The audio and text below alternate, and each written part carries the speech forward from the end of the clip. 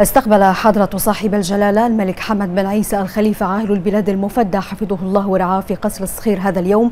سمو الشيخ ناصر بن حمد الخليفة ممثل جلالة الملك للأعمال الخيرية وشؤون الشباب رئيس المجلس الأعلى للشباب والرياضة الذي قدم لجلالته الفائزين بجائزة الملك حمد لتمكين الشباب لتحقيق أهداف التنمية المستدامة في نسختها الثانية. قد تشرف الجميع بالسلام على جلالة الملك المفدى حيث رحب جلالته بهم وهنأ حفظه الله الفائزين بجائزة الملك حمد لتمكين الشباب لتحقيق أهداف التنمية المستدامة مشيدا بجهودهم في رفعة وتمكين الشباب من منطلق إيمانهم بدورهم الريادي في بناء الأوطان والنهوض بالمجتمعات. فيما أعرب الفائزون بالجائزة عن خالص الشكر والامتنان لصاحب الجلالة على مبادرة جلالته الرائدة لدعم شباب العالم والتي أتاحت لهم الفرصة المثالية لنشر إبداعاتهم وأفكارهم وابتكاراتهم لتحقيق أهداف التنمية المستدامة.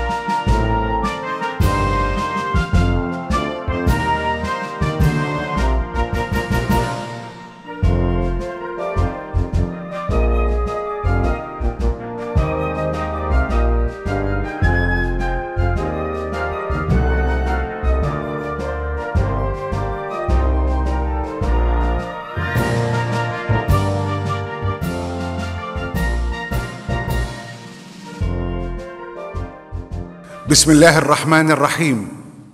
سيدي حضرة صاحب الجلالة الملك حمد بن عيسى آل خليفة ملك البلاد المفدى حفظه الله ورعاه. أصحاب السمو أصحاب المعالي والسعادة أيها الحضور الكريم السلام عليكم ورحمة الله تعالى وبركاته. خير ما نبدأ به تلاوة عطرة من القرآن الكريم يتلوها على مسامعنا القارئ علي صلاح عمر. أعوذ بالله من الشيطان الرجيم. بسم الله الرحمن الرحيم. من عمل صالحا ذكر أو أنثى وهو مؤمن فلنحيينه حياة طيبة ولنجزينهم أجرهم بأحسن ما كانوا يعملون فإذا قرأت القرآن فاستعذ بالله من الشيطان الرجيم. إنه ليس له سلطان على الذين آمنوا وعلى ربهم يتوكلون. إنما سلطانه على الذين يتولونه والذين هم به مشركون. وإذا بدلنا آية مكان آية والله أعلم بما ينزل. قالوا انما انت مفتر بل اكثرهم لا يعلمون قل نزله روح القدس من ربك بالحق ليثبت الذين امنوا ليثبت الذين امنوا وهدى وبشرى للمسلمين. صدق الله العظيم. يتفضل سيدي حضرة صاحب الجلالة الملك حمد بن عيسى آل خليفة ملك البلاد المفدى حفظه الله ورعاه بإلقاء كلمة بهذه المناسبة. بسم الله الرحمن الرحيم. أصحاب السمو حضور الكريم السلام عليكم ورحمة الله وبركاته.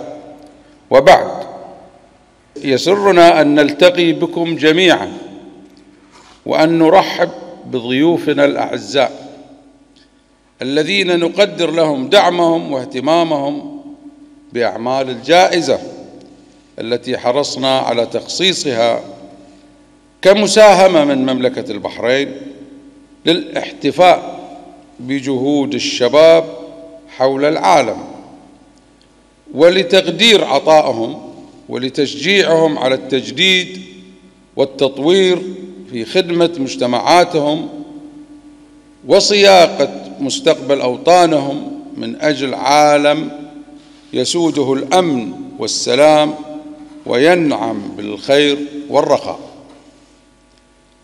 إن مسألة تمكين الشباب كقوة عمل وبناء هي مسألة ننظر إليها باهتمام بالغ. لما لتلك القوة من دور مؤثر في صوق مستقبل الأمم. ونؤكد هنا من منطلق قناعتنا الشخصية وفي ضوء ما اثبتته تجربتنا الوطنية بأن عملية إشراك الشباب في الشأن الوطني هو رهان رابح في كل الأحوال. متى ما تم إعدادهم الإعداد السليم بتدريبهم على القيادة المسؤولة وفسح مجال مشاركتهم في عملية صنع واتخاذ القرار لإحداث التطوير الإيجابي الذي نطمح له جميعا. وأننا في هذه المناسبة السعيدة نبارك لجميع الفائزين بالجائزة من مؤسسات وأفراد ونفخر بما يقومون به من جهود استثنائية ومؤثرة لتحقيق أهداف التنمية المستدامة التي تشكل محورا هاما على الأجندة الدولية. والتي تلتزم مملكة البحرين بدعمها ومساندتها وتحرص على إدماجها في كافة خططها وبرامجها وبناء على النتائج الأولية والطيبة لأعمال الجائزة منذ انطلاقها فإننا نقدر لكوادر وزارة الشباب والرياضة إدارتهم المتميزة لتحقيق توجهاتها ونتطلع لمقترحاتهم في إضفاء المزيد من التطوير على مجالاتها عبر مد مظلتها لتشمل أكبر قدر ممكن من مساهمات الشباب. مكررين في الختام شكرنا وتقديرنا للجهود الطيبة التي يبذلها جميع القائمين على أعمال الجائزة. ونخص بالذكر هنا أعضاء لجان التحكيم وفرق العمل الإدارية مع تمنياتنا للجميع. كل توفيق ونجاح. والسلام عليكم ورحمة الله وبركاته.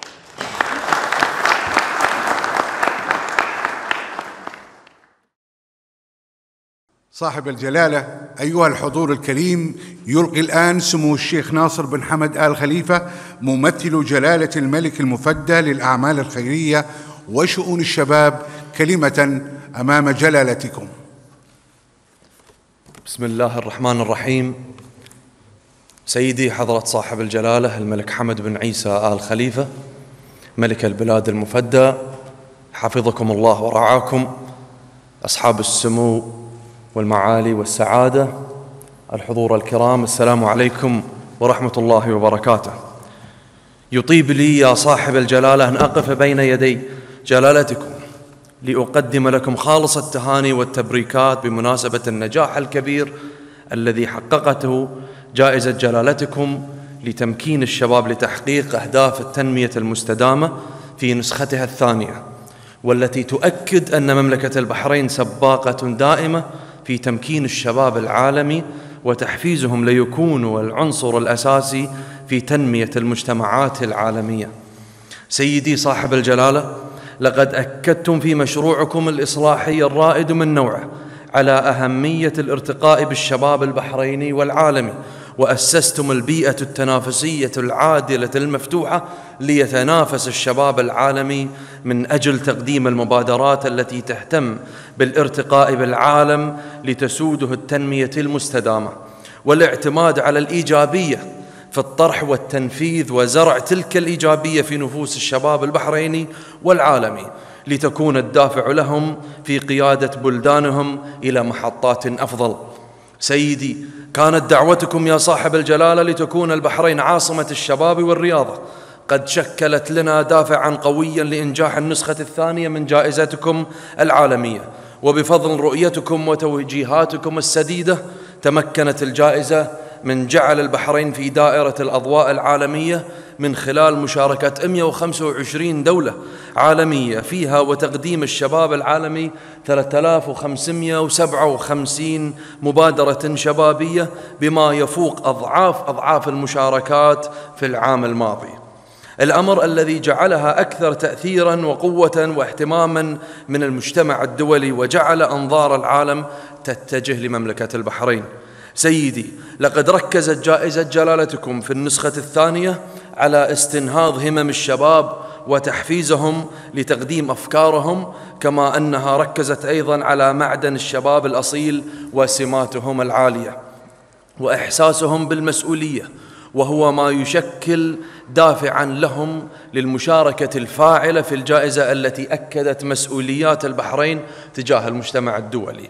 سيدي صاحب الجلالة إن حرص الفائزين على التواجد أمامكم ومقابلة جلالاتكم تؤكد اهتمامهم الواضح بنهل المعرفة والحكمة والسمات الكريمة لجلالتكم والتواصل معكم ليكون هذا اللقاء فيصل في حياتهم ونفوسهم ولتكون كلمات جلالتكم لهم دافعا لمواصلة مشوارهم في العطاء. سيدي في جائزة جلالتكم نماذج مضيئة عالمية تمكنت من أحداث نقلة واضحة في الوصول إلى تحقيق الأهداف التنمية المستدامة فهناك مؤسسات تقدم بمبادرات في توفير التقنيات والدعم والتمويل للشباب ولتنفيذ مبادرتهم بالإضافة إلى تقديم الشباب الفائز لمبادرات عدة في المياه النظيفة والأمن والأمان والزراعة وتطويرها. ختاما يا سيدي نجدد العهد لجلالتكم لمواصلة تطوير الجائزة كما نشيد بجهود الجميع الذين ساهموا في نسخة الثانية. والسلام عليكم ورحمة الله وبركاته.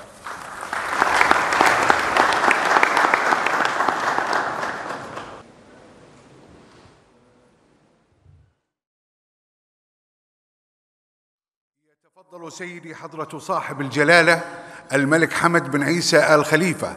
ملك البلاد المفدى حفظه الله ورعاه بتكريم المحكمين والفائزين بجائزة الملك حمد لتمكين الشباب لتحقيق أهداف التنمية المستدامة. أولاً المحكمين.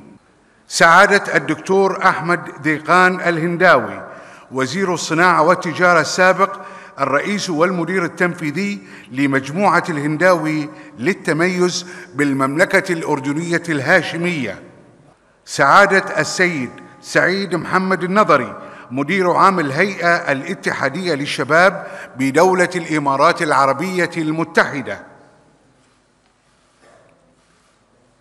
سعادة السيد ستيفانو بانيتانو الممثل المقيم لبرنامج الأمم المتحدة الانمائي بمملكة البحرين السيد نعمان الصياد مستشار الاتصال الإقليمي في برنامج الأمم المتحدة الانمائي في الدول العربية السيد عبد المنعم محمد مسؤول التفاعل بين العلوم والسياسات الإقليمي السيدة أميرة الحسن مدير برنامج يو إن هابيتات لدول مجلس التعاون.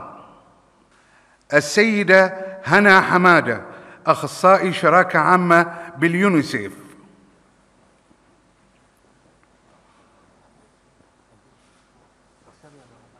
السيدة كريستينا ميغو موظفة الاتصال الإقليمي ومسؤول السياسات في برنامج الأمم المتحدة الإنمائي في الدول العربية.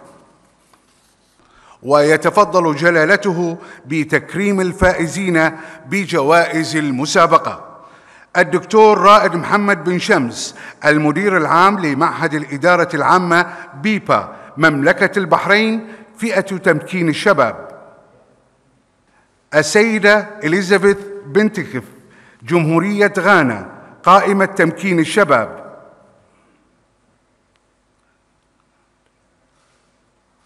السيد ديفيد أند ريادابا جمهورية كولومبيا.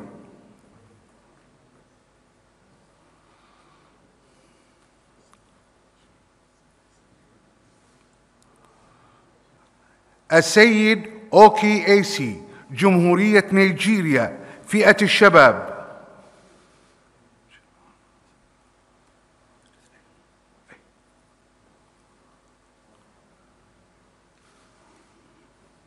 السيدة سمجهانا كهنال جمهورية النيبال فئة الشباب.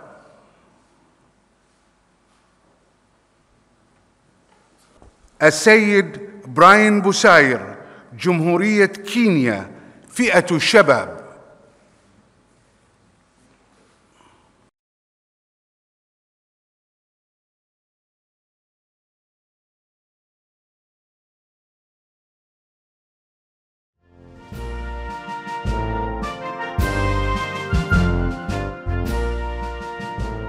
هذا وقد تشرف سمو الشيخ ناصر بن حمد الخليفة بتقديم هدية تذكارية لجلالة الملك المفدى حفظه الله ورعاه.